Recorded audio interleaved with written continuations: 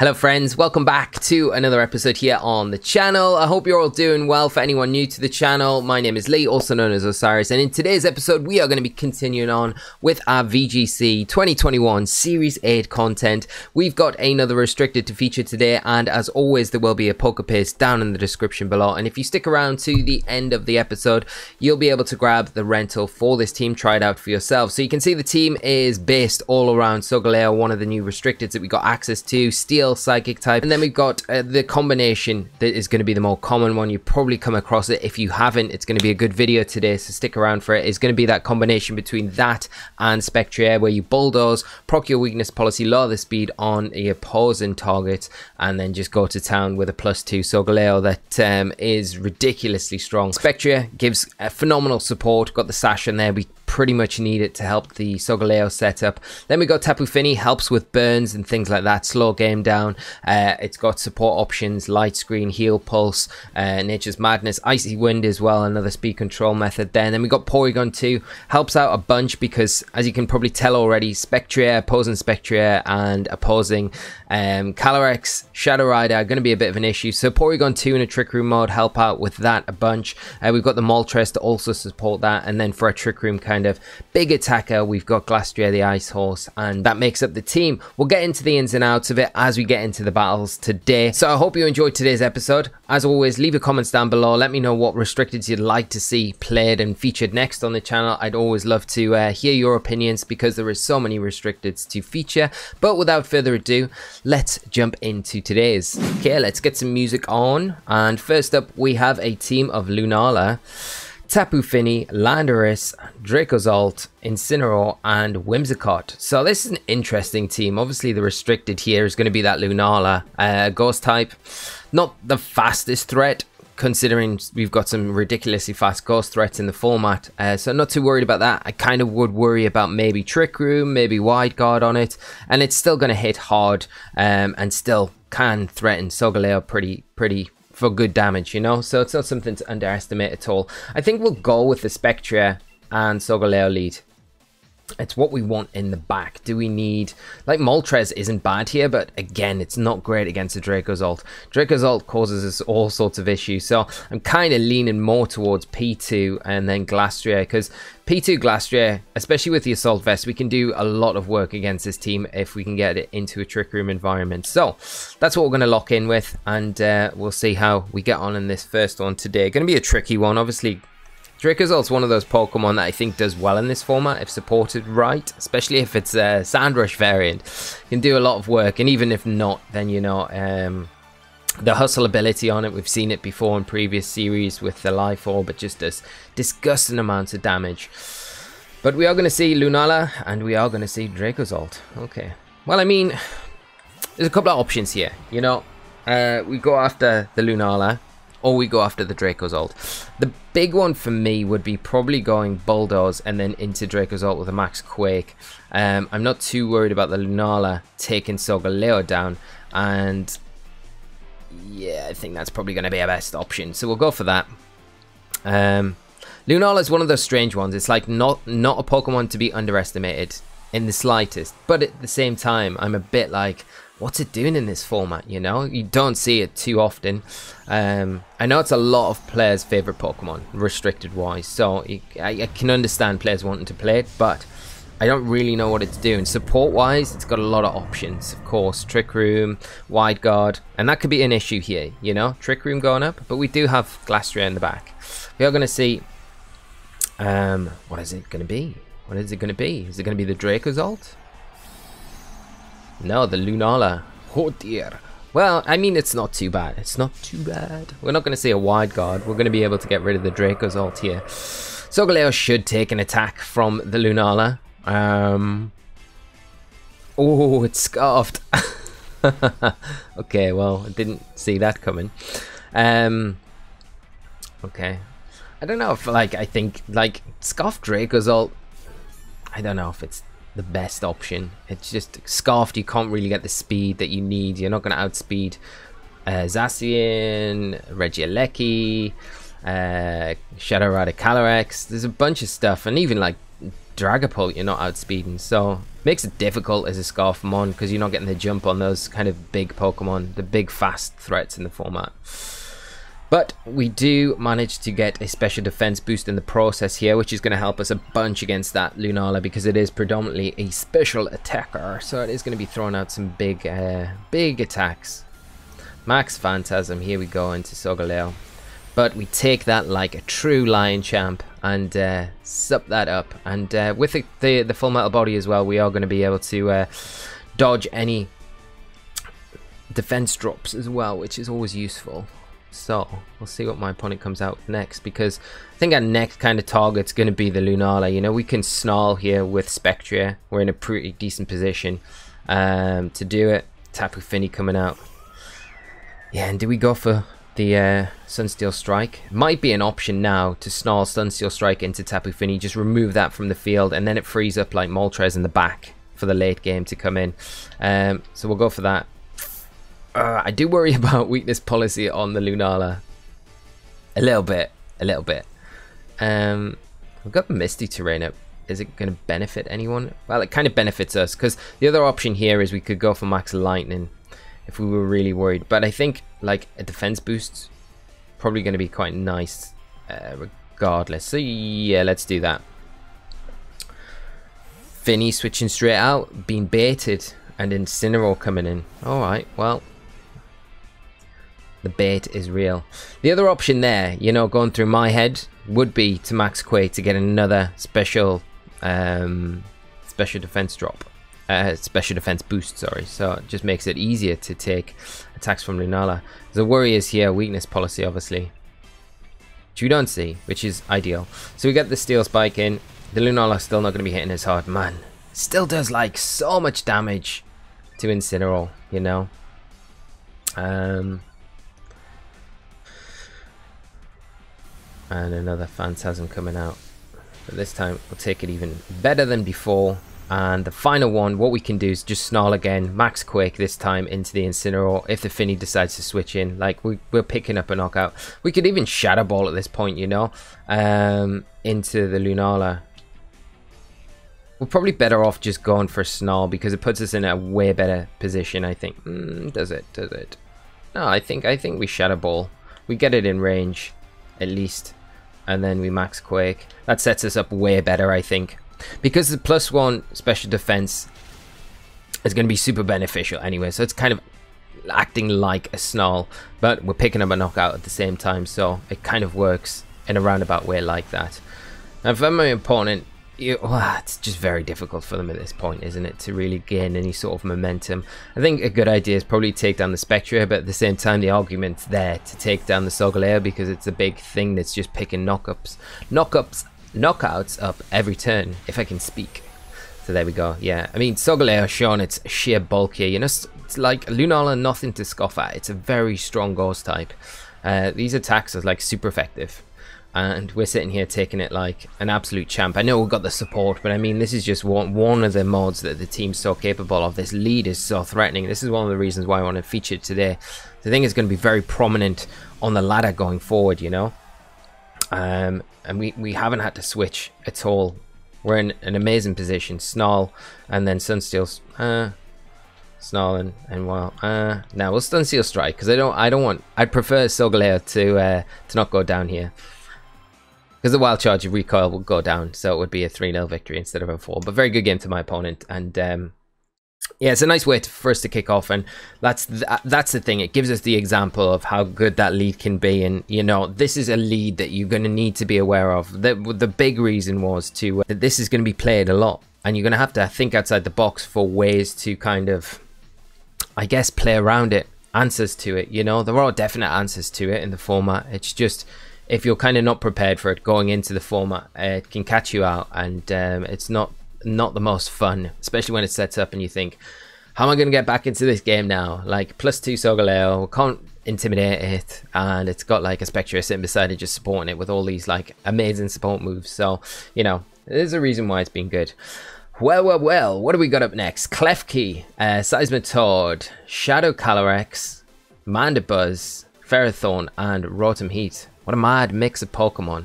Uh, not sad to see it at all. Klefki obviously got the prankster ability, going to be able to do all sorts of um, annoying, annoying support stuff. Uh, the Seismitoad you generally see on rain teams because of the swift swim ability there, but not seeing that today. I wonder if Klefki has got rain. Potentially does it get rain dance? It would make sense, maybe. Uh, it supports the Ferrothorn as well. Ferrothorn a bit of a pain for us, and definitely the uh, the Shadow Calyrex a big, big old pain as well. Um, do we go Moltres here? Moltres could be good, but I think Moltres may be better as a late game Pokemon. The the other thing is the also the Rotom Heat is a bit of an issue as well. Like Spectra is is one of those Pokemon that you kind of want to keep for Rotom Heat late game. I think we'll go Spectra. I think we'll go Solgaleo. I think we'll go P2 because it gives us a nice resistance against the Shadow Rider. It gives us Trick Room mods as well if we need it. And we'll go Moltres. And uh, this could go pretty south because they've got a lot of threats that could do good work against us, like the Rotom Heat. Um, if we can't deal with it well enough between like Solgaleo Spectra, uh, could get pretty dicey um, quite early on. But the one thing that I do like about Solgaleo, I don't see many people running on it, is the the, uh, facility run Wide Guard, I think it's such good support in this format. It's not something you're going to use a lot, but when you're maxing Solgaleo a lot of the time, you know, it makes a lot of sense to um, to be able to utilize that that that move. Okay, well, what are we going to see here? The Mandibuzz, I'm worried about foul play from the Mandibuzz, which would come onto the Solgaleo, which would not be ideal. Um, especially if we proc our weakness policy and we miss the knockout because of like reflect or something like that.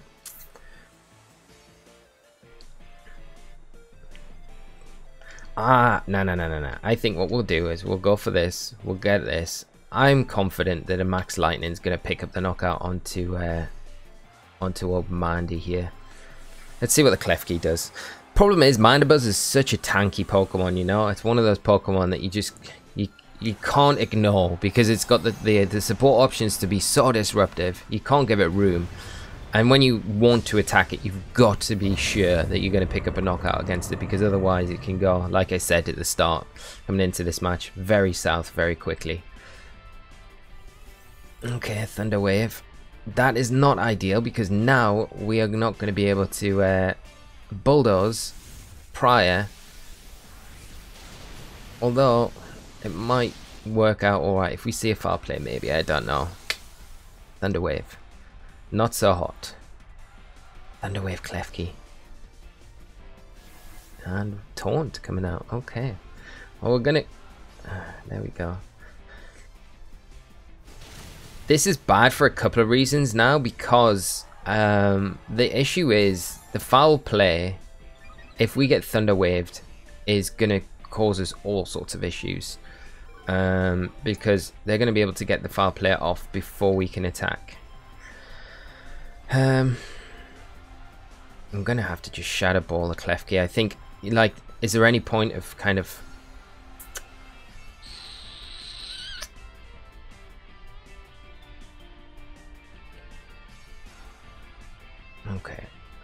no, we just go for it. I think I'll go for, yeah, I'll go for the Steel Spike just to get a defense boost. It might be useful later on. I don't know if it will be, but we're going to see Thunder Wave foul play.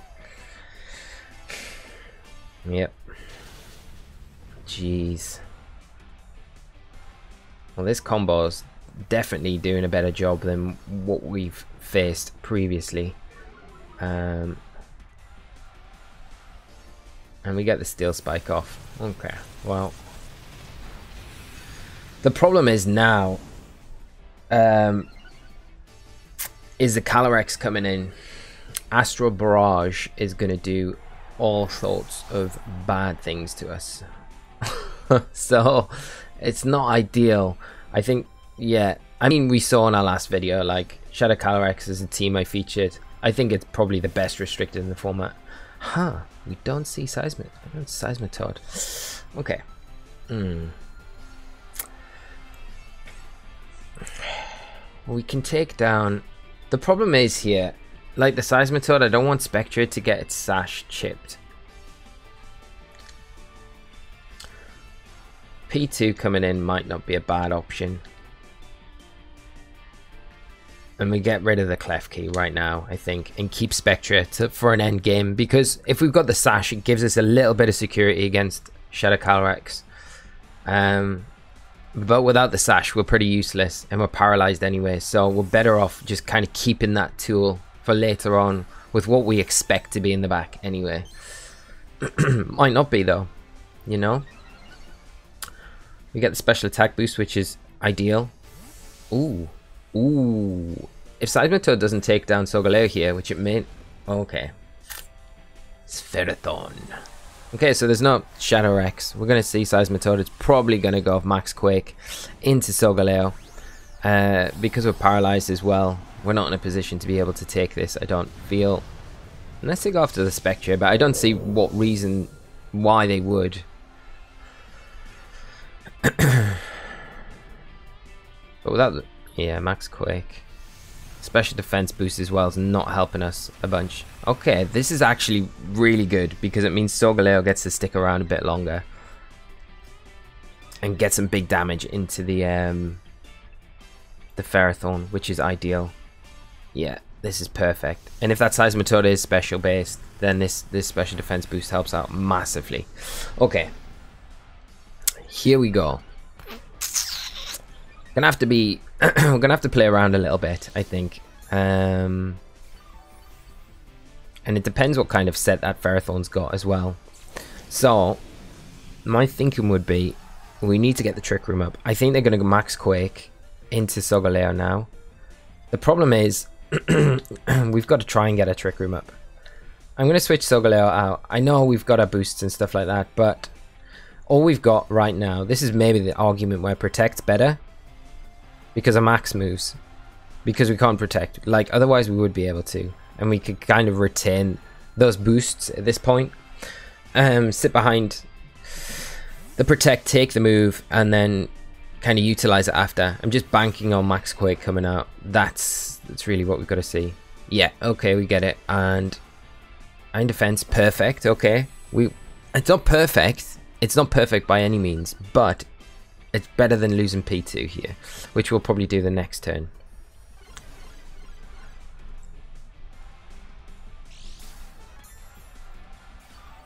Actually, the Trick Room's really bad. The Trick Room's terrible here. Um... Because we really need to nasty plot.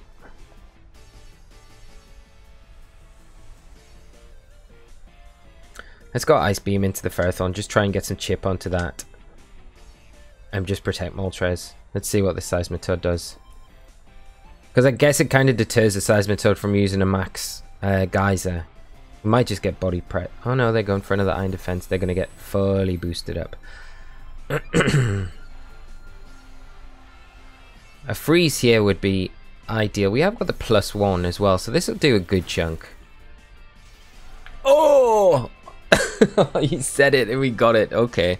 Uh, there's the Max Geyser. If this takes down P2 now... Oh, then to Moltres. Okay.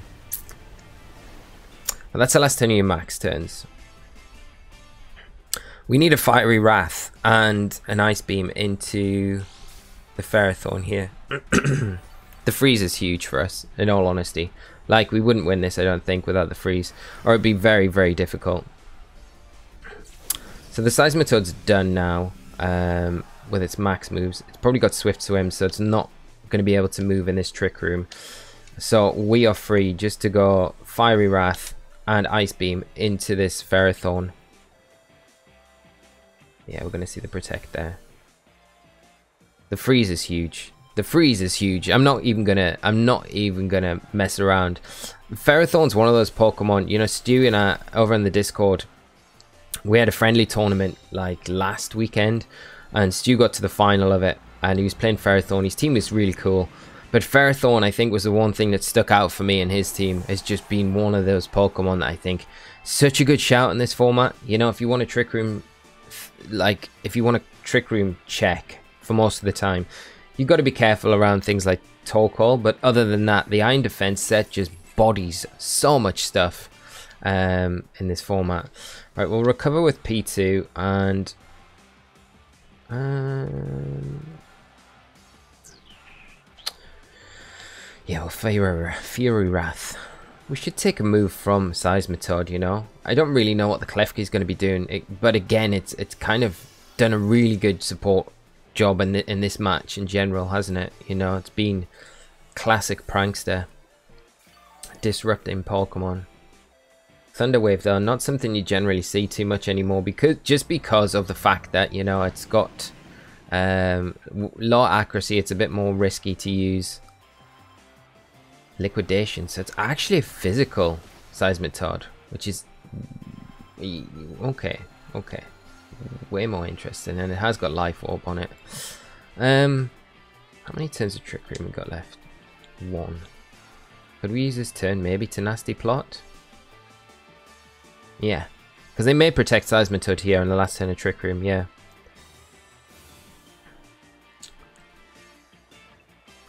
And then the only way to slow us down really, take advantage of this with Klefki is to um, to Thunderwave us, which is what they're probably gonna gonna do. Okay, they got the Dazzle.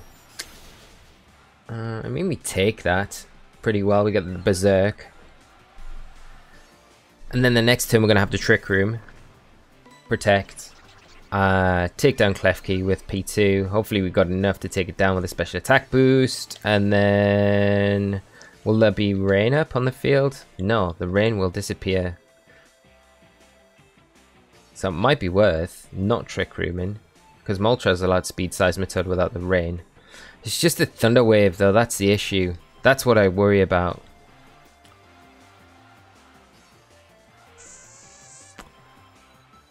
Um, hmm. I'm gonna trick room. I'm gonna trick room. I think, and protect. Like, we, yeah, I could plan to do. Because at the, the end of the day, like Solgaleo can come in, and it can earthquake, and it's gonna be slower than okay. And it's gonna be slower than Seismitoad, regardless of of the rain or not. Liquidation and Thunderwave. That damage is nasty. And we're paralyzed. Okay, well the rain stops. This is where it gets tricky because the Thunder Wave comes out onto Moltres and we go down, we go down. I'll try the Trick Room again, but they're kind of in this locked situation now where if they do that, they got to concentrate down on Moltres. Oh, okay. Oh, they've got Rain Dance. So definitely the Trick Room is the best, the best play. Unless they go after P2 again here. But then if they do, they just lose everything to uh, to Moltres. So as long as we're not parried, we should be alright.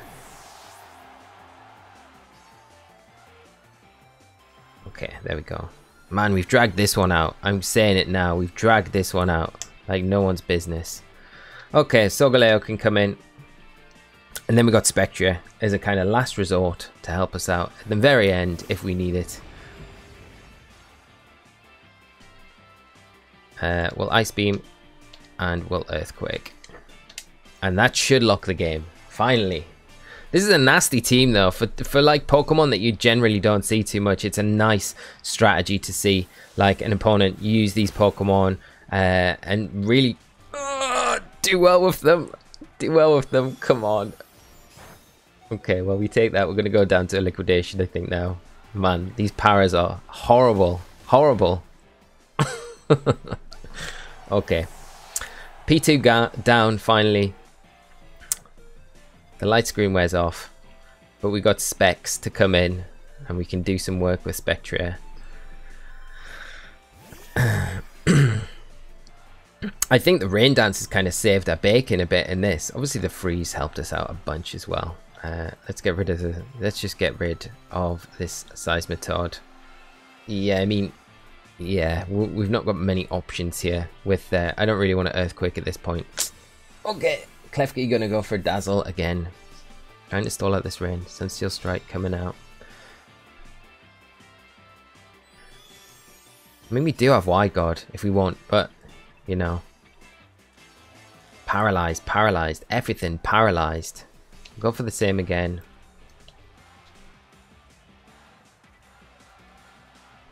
Could still go all terribly wrong. We actually need to move. If we don't, if we're all paralyzed all the time, then it's very difficult, isn't it? But Solgaleo coming out on top once again. We get fortunate in this one for sure with the freeze on the Ferrothorn. I think that would have been a very difficult mon to deal with. We would have really needed to position Moltres, get the nasty plot up to really do the damage we needed to on it. You know, we just weren't hitting it hard enough with the... Uh, come on. Come on.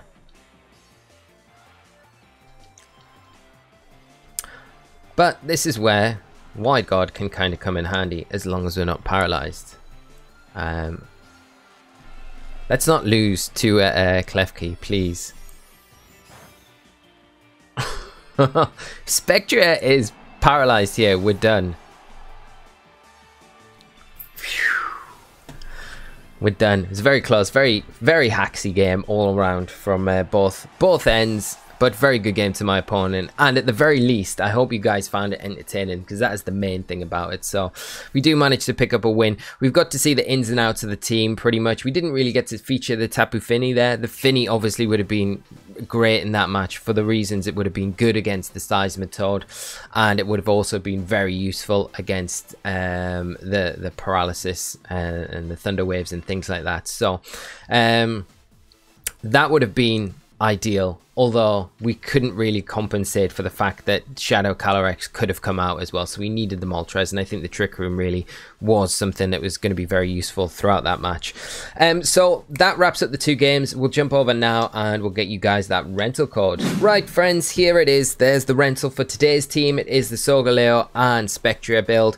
Uh, and if you try it out, I really hope you enjoy it. It's, uh, you know, we're pretty high on the ladder at the minute as well. So we're not playing like um, lower down opponents. We're playing decent opponents. And I think even though we faced that like weird team in the last one, we're still facing things and kind of coming out on top. Was a little bit of RNG on our side in that last one. But I mean, the team's performing well, the Pokemon performing well. Um, but if you do try it out, as I say, I hope you have enjoy it, and it's a good thing to experience, and it's definitely a good thing to identify this lead as something as a big threat. Have fun with the team, have a great weekend. Let me know down in the comments section what restricted you'd really like to see going forward, because I've got a bunch lined up, but I also would really like to factor in the the case that you know you there's certain things that you would like to see. Ice Rider Calyrex is definitely a Pokemon I think is phenomenal. So we'll be featuring that at some point next week. So we've got room to, to feature some other things as well. We'll bring more rental teams as we go. Remember, there is the friendly going on this evening over on our Discord. So we've got the friendly tournament kicking off on the Switch. If you want to get involved in that, I'll throw up the uh, ID of the tournament, all the details there now. Hop over to our Discord. There'll be a link down in the description. Join the community. Get involved with the uh, the competitive side over there. It's a lot of fun. And um, if you do play it, I hope you have a great time. Enjoy it and uh, best of luck. Have a great weekend, friends. Thank you so much for tuning in as always. And I'll catch you for another episode very soon. So until then, take care and bye bye.